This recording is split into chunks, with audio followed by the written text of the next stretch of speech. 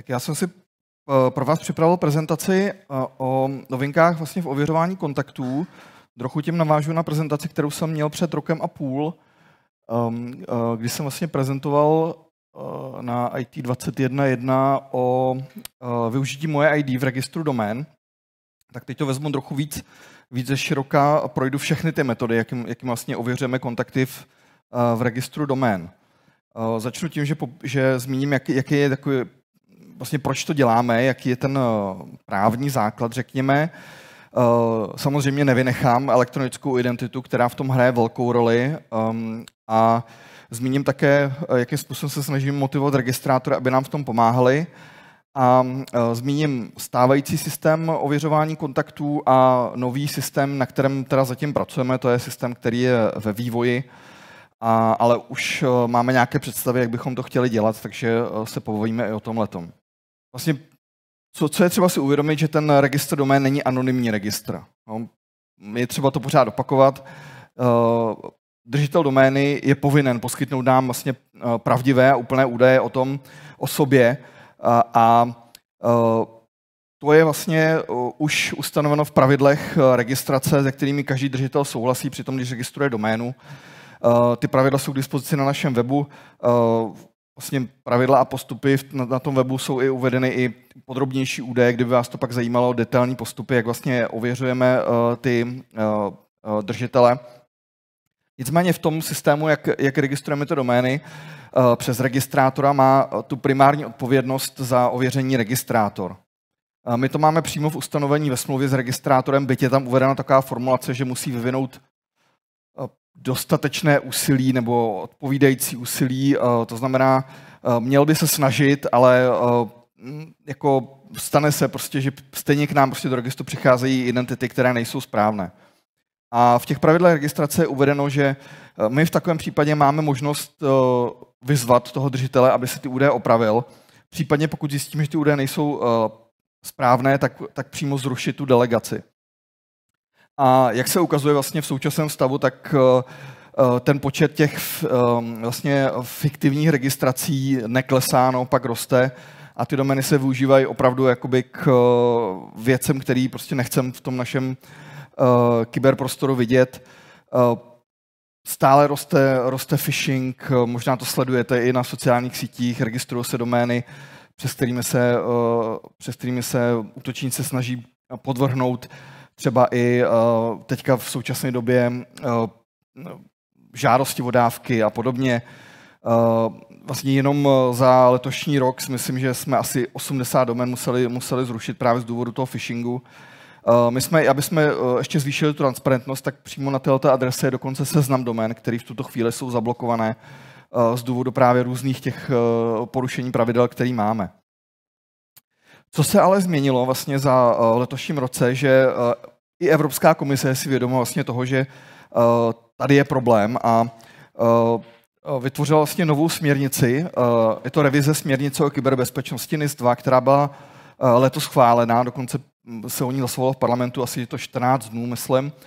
A uh, teď, mysl, teď je situace jako, že by měla vlastně do konce roku výjít věstníku a pak mají uh, státy uh, něco mezi jedním a dvěma roky na to, aby, aby tu ji implementovali. Takže dá se očekávat, že vstoupí platnost někdy v polovině roku 2024.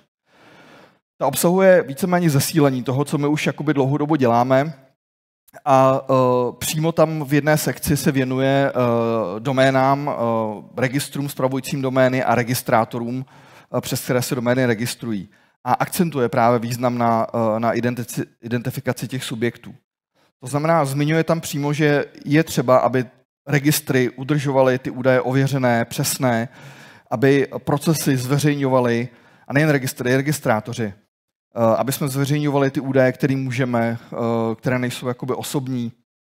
Eh, I ty údaje, které jsou osobní, musíme předávat orgánům, který mají vlastně možnost nebo oprávněnost o ně žádat, jako je třeba policie nebo, nebo nějaké další orgány státu. Ale měli bychom se společně s registrátorem, a je to tam přímo uvedený, snažit o Eh, zamezení vlastně duplikování té zprávy eh, kontaktů.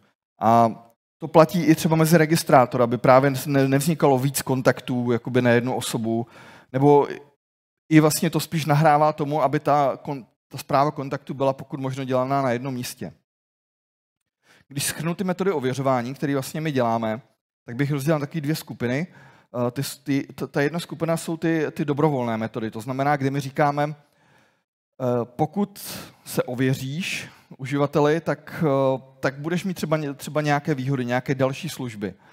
A to je právě to vlastně dobrovolné propojení vlastně se službou Moje ID nebo s nějakým registrem identit v zahraničí, a pokud to uživatel udělá, tak vlastně má možnost využívat, teď o tom Zdeněk o tom dneska mluvil, ten doménový prohlížeč, má tam velice elegantní možnost, jak si nejenom zjišťovat to outinfo, ale třeba nastavit si zámek na doméně a další možnosti.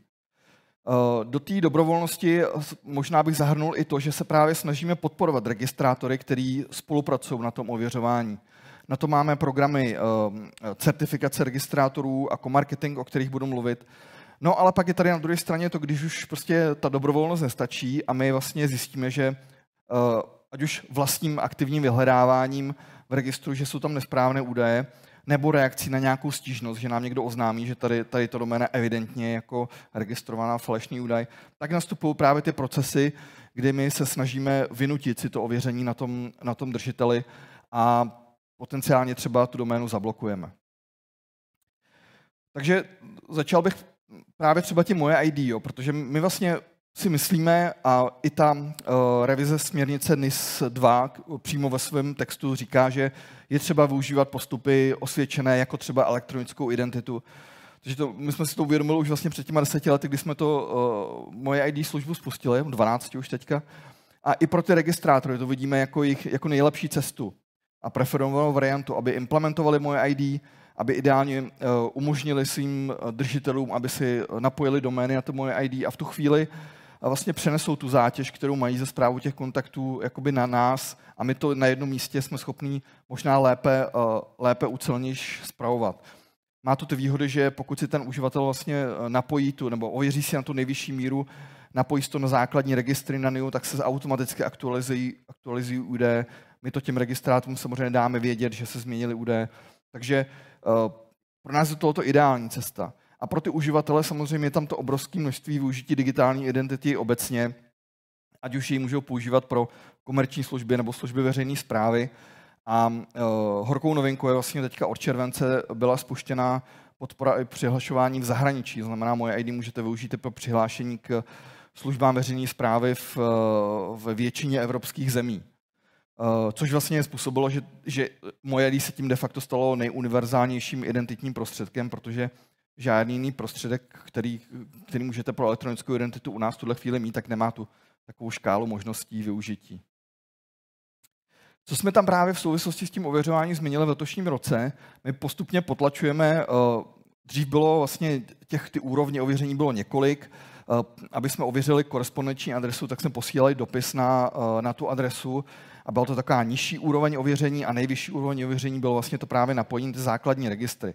Postupně potlačujeme jakoby tu škálu možností, přestali jsme už posílat ty dopisy na ty adresy a snažíme se, aby si každý ten uživatel napojil tu doménu ty základní registry, byla tam ta plná synchronizace a měli jsme jistotu, že ty údaje jsou opravdu takové, jaké mají být po celou dobu historie ty digitální identity trochu bojujeme s právnickými osobama. Tam je to mnohem těžší. Možná víte, že digitální identita u nás, eh, eh, ta státní, vlastně není, eh, vlastně nepodporuje žádným způsobem právnické osoby, takže ta možnost ověřovat právnické osoby je tam poměrně omezená. Proto my jsme u těch právnických osob zatím ponechali možnost to ověřovat přes ty korespondenční adresy, aby jsme měli aspoň nějakou možnost. A, ale trochu jsme zapracovali na té možnosti té validace, a e, kromě stávajících možností, kdy je možný vlastně poslat nám výpisy z rejstříků, ať už e, fyzicky nebo přes datovou schránku, tak jsme se zaměřili nově na možnost ověřovat také přihlášením se přes datovou schránku. Taková elegantní, e, elegantní rychlá, rychlá metoda, jak je možné ověřit identitu právnické osoby. To, trochu se zmíním o tom víc. To se vlastně týká těch mojedých účtů, kteří mají vyplněnou položku organizace, to znamená ne, ne, ne fyzických osob, ale, a, ale těch ostatních, řekněme. A je to zaměřeno na, buď na podnikající fyzické osoby nebo na právnické osoby s jedním jednatelem. Důvod je ten, že eh, tam je jednoznačné určení, kdo je vlastně ta zodpovědná osoba a když nám řekne, já se chci validovat eh, za tu firmu, tak my víme, že tam není žádná složitá složitost typu, že za tu právnickou osobu musí jednat více osob a dohromady a podobně. To znamená, eh, je to trochu také zjednodušení, nicméně udělali jsme si takový vzorek a věřili jsme, že by mohlo jít až o 70% organizací, vlastně, které jsou v moje ID. Možná taky sledujete, že vlastně se chystá velká změna v systému datových schránek, že od prvního první uh, příští roku budou všechny tyto organizace mít povinně datovou schránku, z toho už asi se nepodaří nikomu vykroutit. To znamená, pokud už ji mají, tak ať ji využijou. Díky tomuto systému mají možnost ověřit si vlastně právnickou identitu právnické osoby v systému Moje ID. My zároveň chceme využít systém ARES, který, přes který je možné vlastně přes API zjišťovat nějaké údaje o těch firmách, to znamená, máme i přesnou informaci o datech. Eh, technicky to řešíme právě přes eh, systém, který se používali kdysi dávno, dřív pro ověřování fyzických osob, systém odesilací brány, eh, datový schránek. A využíváme taky toho, že datová, naše datová schránka je vlastně typu OVM, to znamená, že když nám firmy zasílají jakoby nějaký jednoduchý zprávy, tak je to zdarma. To znamená, nikdo vlastně za nic neplatí. Ehm, tady na screenshotu je eh, lehce vidět vlastně, že eh, novinka je, že vlastně eh, uživatel, který je právnická osoba, to znamená, nemůže se jako, nemůže jít do toho systému, systému NIA, tak prostě přes tračítko validovat se dostane do systému, kde mu ukážeme data z ARES a data, který o něj uvedeme. On klikne na, na, pokud se teda, on klikne na pokračovat a pak už rovnou se přihlásí údajem a vlastně datové schránky nebo použije elektronickou identitu a pokud to potvrdí, jak se to vrátí zpátky a je to vlastně velice jednoduchý způsob, jak si ověřit identitu, eh, právě identitu právnické osoby. Když už mluvím o ID, tak bych rád zmínil vlastně jednu věc, kterou chystáme teďka na první prosinec, a to je, že, že ukončujeme podporu pro přihlášení vlastně starýma přihlašovacíma metodama, a to je naše stará mobilní aplikace MoID Autentikátor a, a jednorázový jeslo OTP. Děláme to proto, že eh, ve srovnání s těma novýma moderníma prostředkama tyto prostředky nesplňují bezpečnostní požadavky, které státní zpráva vyžaduje na použití se státní zprávou, eh, právě eh, ve službách státní zprávy. A možná i díky tomu vlastně postupně časem klesá jejich využití. A už je tak minimum, že už se nám nevyplatí tyto metody víceméně udržovat. My jsme to, já jsem to zmiňoval už, když jsme loni představovali právě tu náhradu za starý MoID autentikátor, tu novou aplikaci MoID klíč. Eh, která může sloužit jak, na, jak náhrada za OTP eh, nebo za, eh, za ten autentikátor. Případně, pokud si uživatelé nechtějí instalovat nějaké aplikace do telefonu, tak můžou použít i systémové klíče Android nebo nově teďka i iOS pro případně ve scénáři, kde dříve použili OTP.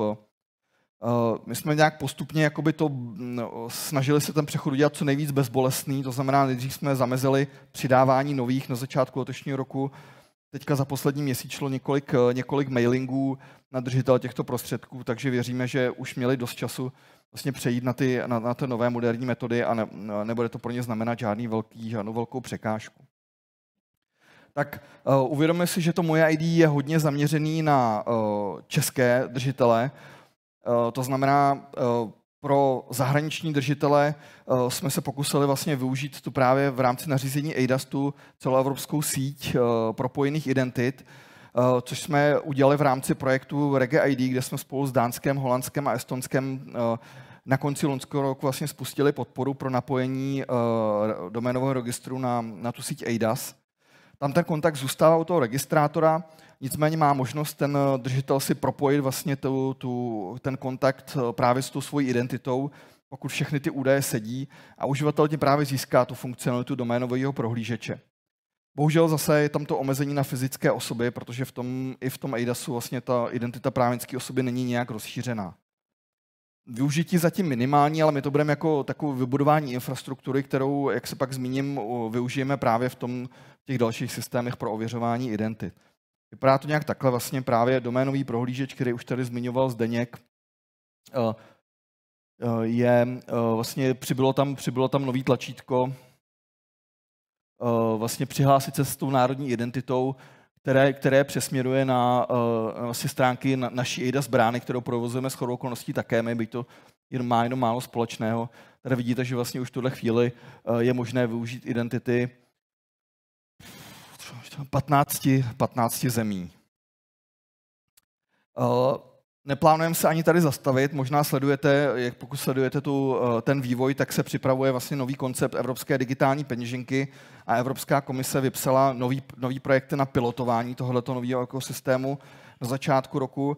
My jsme se přihlásili spolu asi s dalšími 60 společnostmi v rámci jednoho z těch konzorcí, který vlastně žádá o, o, o grant na pilotování toho ekosystému. Eh, to se teďka v tuto chvíli posuzuje, mělo by to být ehm, v rámci řádu dnů, do konce listopadu jsme měli vědět, eh, jestli jsme byli vybraní ehm, vlastně do toho projektu. A rádi bychom vlastně, jedna z těch věcí, které specificky to naše konzorcium má vlastně v eh, předloženém projektu, je právě pilotovat tu peněženku digitální identity pro organizace, aby i organizace mohly jako předkládat svoji totožnost prostřednictvím té peněženky což chceme právě využít v rámci eh, ověřování právnických osob a chceme jakoby na tom demonstrovat, eh, jestli ta peněženka toho bude schopná nebo nebude schopná. Tak, teď se dostávám k těm registrátorům. Um, už dlouhou dobu, vlastně mnoho let, vlastně uh, máme program, nazýváme certifikační program pro registrátory, kdy Eh, na našem webu u každého registrátora zobrazujeme nějaký počet hvězdíček na základě kritérií, který, kterými ho vždycky eh, jednou za rok ohodnotíme.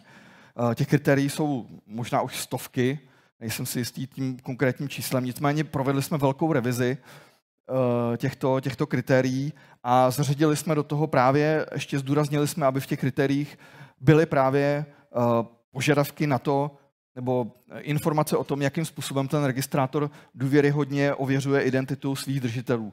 Takže nemůžete vidět některá z těch kritérií. Zdůrazňujeme tam právě, jestli podporuje třeba moje ID, jestli, jestli kolik, má, kolik má těch uh, identit napojených na, uh, nebo kolik ne, vlastně v tuhle chvíli, spíš jestli umožňuje tu možnost a jestli třeba poskytuje nějaké výhody těm, těm uživatelům, co mají tu, tu moje ID identitu a podobně.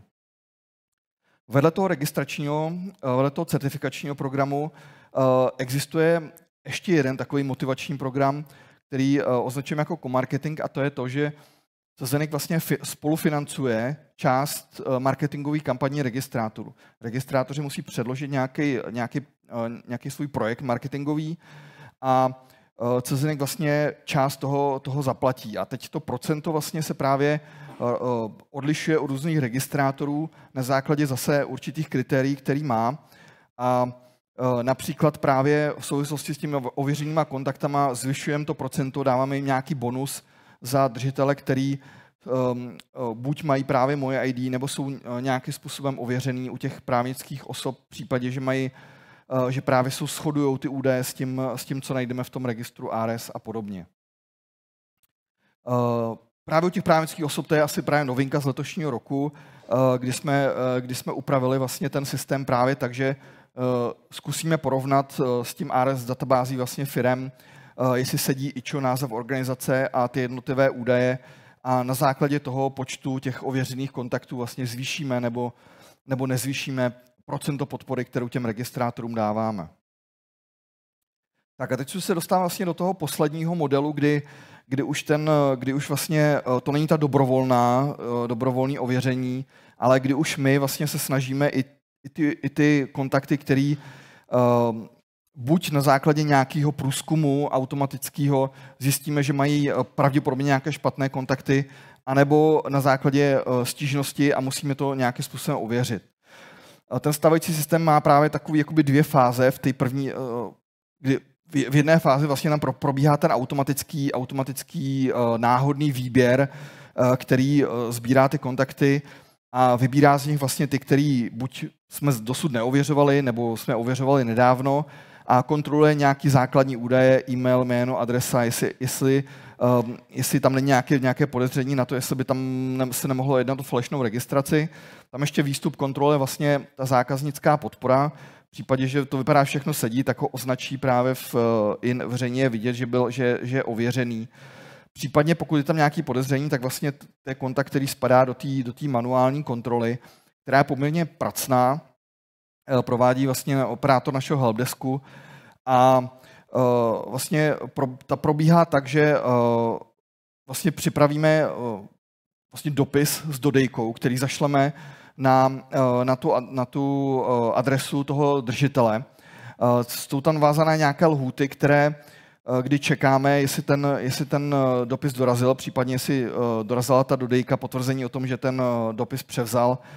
Může se stát, že vlastně díky tomu, že ještě teďka je to nastavené tak, že jsme poměrně jako snažíme se mm, víc stříc, to znamená ne, neoznačit jako neověřenou nějakou doménu, která třeba potenciálně může být ověřená. Čekáme opravdu dlouho, může to být až měsíc, než se dozvíme, že, že, ten, ta, že doména nebo držitel nereaguje a pak nastává ten proces vlastně toho eh, zablokování domény, případně zrušení. V opačném případě, pokud je eh, doména ověřená spole, eh, správně, dostaneme informaci, že kontakt byl ověřen, nebo že ten dopis dorazil, tak ho označíme zase v USu ověřený. V opačném případě uh, vlastně můžeme, tu doménu zablokujeme na několik dní a pak tu delegaci vlastně zrušíme.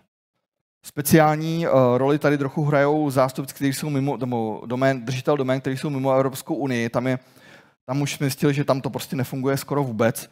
Takže tam máme v pravidlech na to speciální uh, odstavec, který říká, že takovýto držitelé musí na vyzvání uh, předat zástupce uh, v EU kde je přece jenom větší šance, že ten zástupce bude dosažitelný. Takže v tomto případě my se snažíme kontakt toho, toho, zástupce a ověřit, že opravdu ta doména není falešná.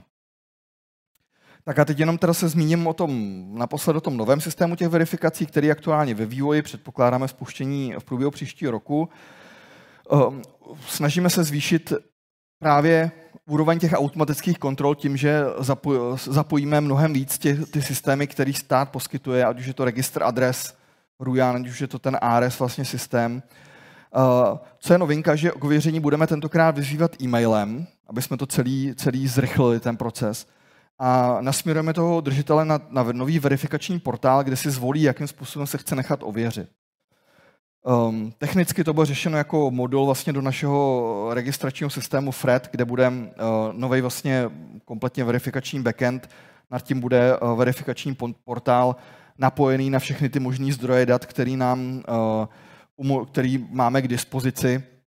Uh, rozšíříme vlastně možnosti toho našeho rozhraní pro helpdesk, o kterém tady už taky byla řeč, protože pořád tam bude poměrně dost práce asi manuálně.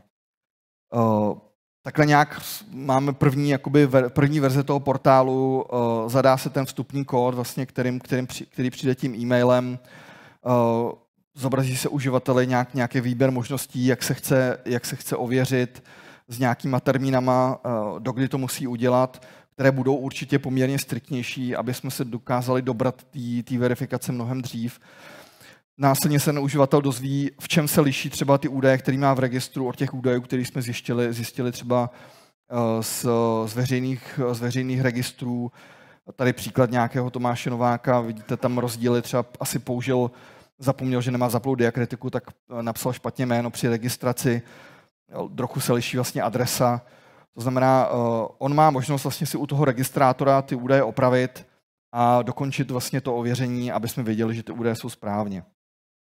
Eh, cílem je samozřejmě zvýšit ten eh, počet těch ověřených kontaktů a zároveň snížit eh, zátěž, kterou v tuhle chvíli vlastně ty operátoři naší zákaznické podpory tomu věnují. Logicky, vlastně, jak jste viděli na tom předchozím slajdu, hrozí zvýšení náporu na registrátory, protože těch změn, těch, dom, těch nesouladů bude pravděpodobně hodně. A my jakoby, bychom měli, ty, ty, držitel by ty domény, ty, ty změny měl dělat přes registrátora, což není úplně jako komfortní pro ty uživatele. Uh, Vlastně my trochu očekáváme, že už jenom z těch automatických verifikací přijde obrovské množství změn, drobných změn a diskutujeme vlastně s registrátorem, že by měl mít, bychom měli mít možnost uh, změnit ty kontakty přímo u nás a dát mu třeba vidět, že jsme tam změnili číslo ulice nebo něco, něco podobného, který nebylo jako v tom plném formátu. Uh, a zároveň vlastně uh, v, pořád ale počítáme s tím, že bude nějak, existovat nějaká poloautomatická možnost těch změn, ať už vlastně přes držitele nebo přes, přes operátora helpdesku. Takže v tuhle chvíli vlastně pracujeme jakoby na, několika, na několika konceptech, tím, že budeme změnit ty kontakty u registrátorů, případně samozřejmě se nabízí ta snaha, že budeme motivovat ty registrátory, aby převedli tu zprávu těch svých kontaktů do moje ID a ještě víc ji podpořili, třeba tím, že v momentě, kdy budou zakládat kontakty, takže by třeba rovnou už zakládali jako moje ID kontakty, ale to si myslím, že ještě jakoby hudba trochu zdálné budoucnosti. Tak eh, to je poslední slide, já děkuji za pozornost, eh, rád odpovím vaše případné dotazy. Na slajdu jich máme celou řadu, takže jestli se do nich můžeme pustit. První, dobrý den, lze nějak zabránit proxy držitelství v úvozovkách. Prostě si založím SROčko, na které budu registrovat domény svých zákazníků. Co by na toto CZ řekl? A tady požádám kolegu Peterku, jestli by odpověděl. Dobrý den, Martin Peterka. Já myslím, že Jára by to zvládnul taky dobře, ale, ale asi, asi je to spíš otázka na mě. No, ono to možné samozřejmě je, udělat to můžete, eh, nebudete první ani poslední, kdo si založí společnost a bude na ní takovýmto způsobem registrovat domény svých zákazníků. Má to, svoje, má to svoje rizika jak pro vás, tak pro toho držitele samozřejmě. Eh, z pohledu CZNIKu jste držitelem vy, respektive ta společnost, kterou si založíte, což sebou nese i odpovědnost za tu doménu, to znamená prostě pokud se na ní děje něco nekalého, tak držitelem jste vy a, a asi jak, jak my, tak, tak postižení, tak orgány činné v trestním řízení se budou obracet primárně na vás a pro vás asi bude poměrně složité vysvětlovat, že, že tím držitelem nejste vy. Pro toho samotného držitele je tam potom riziko, že prostě ten vztah může jednoho dne chtít dokázat a, může se mu to dokazovat poměrně špatně. Tyhle ty věci fungují, fungují po celém světě. Asi si spousta z nás vzpomene na dobu, kdy na Slovensku byla potřeba fyzická přítomnost držitele domény a registrátoři to takhle dělali běžně, že, že registrovali prostě domény svých zákazníků na sebe a, a když se to na Slovensku uvolnilo, tak je zase postupně vraceli. My v praxi ověřování údajů takovýmhle způsobem komunikujeme s tuším dvěma nebo třema proxy drži, dvěma, dvěmi nebo třemi proxy držiteli v, v zahraničí a v podstatě to funguje tak, že pokud, pokud ten držitel nefunguje, tak, tak ty domény rušíme kvůli nesprávným údajům, případně kvůli nedoložení, nedoložení kontaktu v rámci EU, protože, protože jsou mimo Evropskou unii. Já jsem je... schválně tuhle otázku směřoval na kolegu Peterku, protože na jaru to čeká mnohem víc, takže takhle okay. jsem to rozložil. A já bych to možná ještě doplnil, jako, protože tahle debata se jako vede i třeba v centru vlastně v, mezi všema uh, registrama evropskýma a uh, nikdo na tom není o moc líp, taky s tím jakoby bojujou. Myslím, že je jedna země, kde si přímo do pravidel dali, jakože je to zakázaný a ty teda tvrdí, že jim to funguje, i když pořádně jako neřekli, jak dokážou zjistit, že to vlastně je ten proxy registrátor, ale tvrdí, že když to přijdou, tak tu doménu jako bezmilostně jako ruší. No. Jako mm, proxy držitelé se, se řeší ve směrnici NIS 2, že jo? Taky, taky jsme hmm. na to narazili. Tam vlastně odpovědnost registrátora zná toho držitele e, v případě, že je to proxy registrace. Říkám, je to, je to, je to něco, co je na hraně, co chápu, v určitých eh, případech, kdy prostě hrozí nějaké fyzické riziko tomu, tomu držiteli, opravdu potřebuje z nějakých, řekněme, geopolitických důvodů skrýt svoji identitu, ale myslím si, že, že v tomhle směru Evropská unie je někde úplně jinde a, a opravdu to není potřeba. Děkuji za obě odpovědi. Já to vemu rychle takhle od zora. Jo? Eh, Můžu, Prima, takže, nejlepší pro mě. Takže proč byla zrušena metoda ověření OTP? Ještě nebyla zrušena, bude teprve zrušena od 1.12. Uh, vlastně zmínil to prezentaci. Uh, ta metoda uh, nemůže mi využít pro nic jiného, než vlastně pro využití mimo, mimo tu NIU, který a tí používání klesá, takže nemám navíc, jakoby, myslím, myslím, že ty ostatní metody plně nahradí, takže nevidíme důvod ji dále jakoby udržovat. Zamýšlí se o ověřování identity, rovněž Bank ID to je pořád, jako přemýšlíme nad tím, je otázka, vlastně my bychom museli uh, Bank ID vlastně platit dost peněz za každou ověřenou identitu, oni to nedávají zadarmo, my nemůžeme využít tu cestu, jako přes, která je zdarma vlastně prostřednictvím státu. Je otázka, jestli by nás ta cena, vlastně, kterou bychom za ověření vlastně uh, využili, jako nebyla mnohem větší než ty metody, který, ta cena, kterou používáme teď, takže to zatím, jako, zatím v tuhle chvíli neuvažujeme. Upevněnost řízení datových stránek by byl opatrný, jaký rozsah nakonec bude. Ano, teď se vlastně uh, ve sněmovně diskutuje, jestli, jestli se podaří zrušit tu možnost, aby všichni držitelé, všichni, drži, všichni držitele elektronické identity měli povinně tu datovou schránku, ale to se týkalo fyzických osob. Co se týká právnických osob a podnikajících fyzických osob, tam si myslím, že ani nikdo ne, neexistuje v tuhle chvíli žádný návrh, který, který by to měnil. Co je EU peněženka identit, proč peněženka? No to je takový koncept, ze kterým přišla Evropská komise vlastně v reakci na to, že ten trend digitální identity se postupně více a víc přesunuje k té decentralizované identitě, kdy člověk má identitu v, vlastně v nějaké aplikaci v telefonu a vlastně nekomunikuje přes prostředníka, přes správce identit. Uh, nejvíc se k tomu asi přibližuje ten koncept, na který se lidi zvykli s těma covidovými pasama, kdy si nahráli něco vlastně nějaký pas do toho a pak se s ním jakoby prokazovali. Takže tak nějak si Evropská komise představuje, že bude fungovat ta peněženka identit. Chcete nějak komentovat opatření proti podvodným uh, doménám, vys incident s, uh, s NIA a s dávkami? Já si myslím, že jsem o tom mluvil, že, že prostě my musíme efe, být efektivní v tom, že když jsou ty podvodné domény zaregistrované, tak bychom co nejrychleji, uh, pokud možno, dostali dolů Um, a to ať už právě nějakým rychlým ověřením totožnosti toho držitele, nebo uh, jsou i pak další cesty, že pokud opravdu víme, že na ty, na ty doméně je phishing, tak samozřejmě nemusíme čekat a můžeme, můžeme to doménu zrušit podobně, uh, poměrně rychleji.